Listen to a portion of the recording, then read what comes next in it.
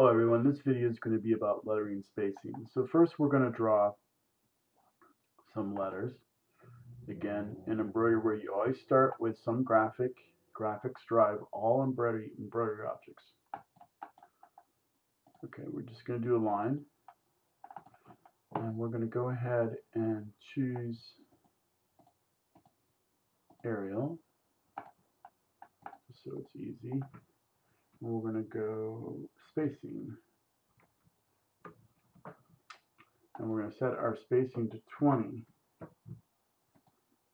You'll notice that this space is between the letters uh, 20.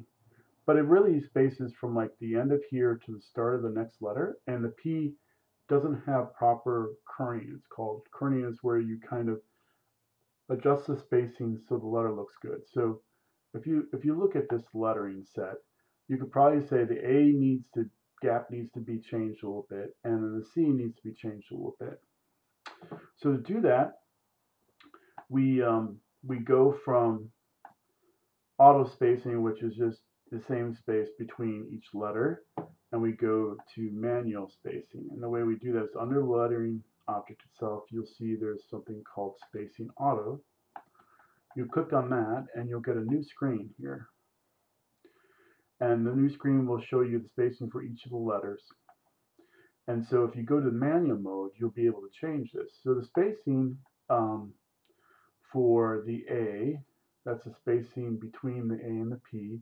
If we reduce that, you'll notice that we can change the kerning of the letters so that it looks better.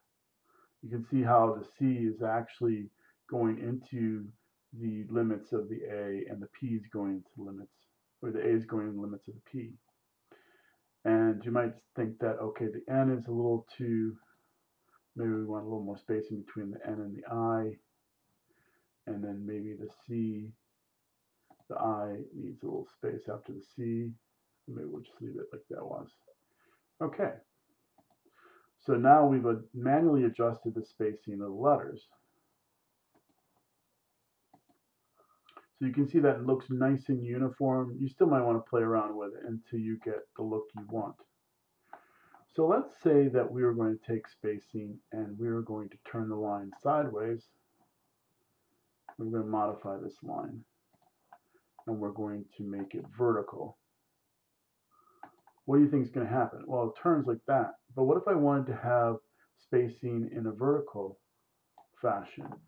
I can do that. I'm going to move this to the center so that we have it in the center. Okay. Um, what we can do is we go back to the spacing auto and we can change some other things. So we have other things, skew, uh, spacing in the Y, skew in the X and Y, and rotation.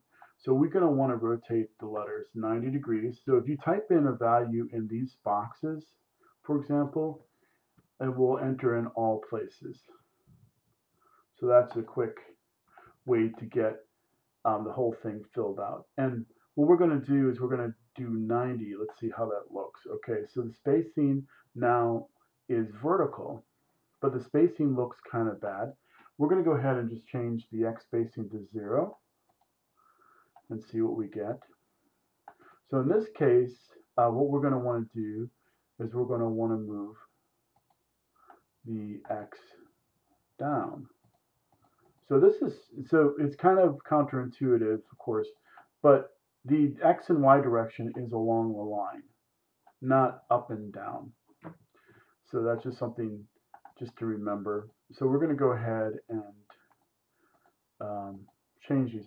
Now let's say that all the all the the letters are approximately 100. Let's just do that for now and see what this looks like. Okay, that's pretty close. A will just go a little bit more.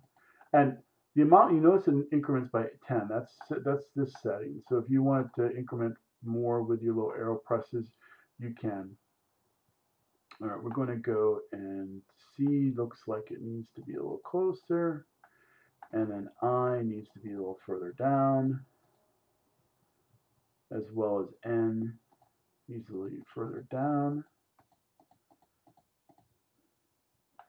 and G maybe a little up. Okay, so now we have vertical spacing. Is there anything more to describe here? There could be. Um, so skew will kind of change the lettering set. And I think it's based off of 1 or a fraction of 1. So let's see, 0.1. Now, because we have vertical spacing, that's not really what we want. Um, you notice that the letters are tilted. I don't think they were tilted before. Yeah, they weren't tilted before. So we got them italic. In this case, of the vertical spacing, we're going to have to play around with the Y spacing a little bit to get them lined up better, if that's what we want to do. Um, so to get the S, let's say we want to line them all pretty much up to the edge of the line there. We'll just go and we move those. So we're just going to move those. It looks like it's roughly 10 for each or so. And we can line that up like that. So now we have an italic uh, font that wasn't italic originally, but because of the skew, we've made it italic.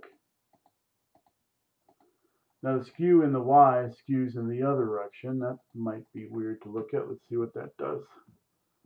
Okay, that skews up like that. It's kind of an interesting effect actually. So let's see what we get. Yeah. So you've been able to kind of just morph the this the one font into something different by using the spacing auto dialog.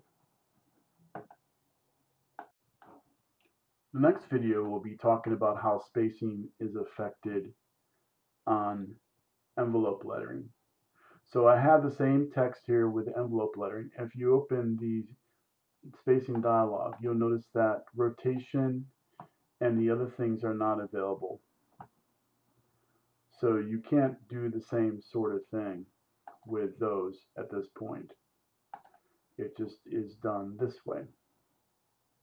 So you can change the spacing between the letters, but you can't rotate or skew them.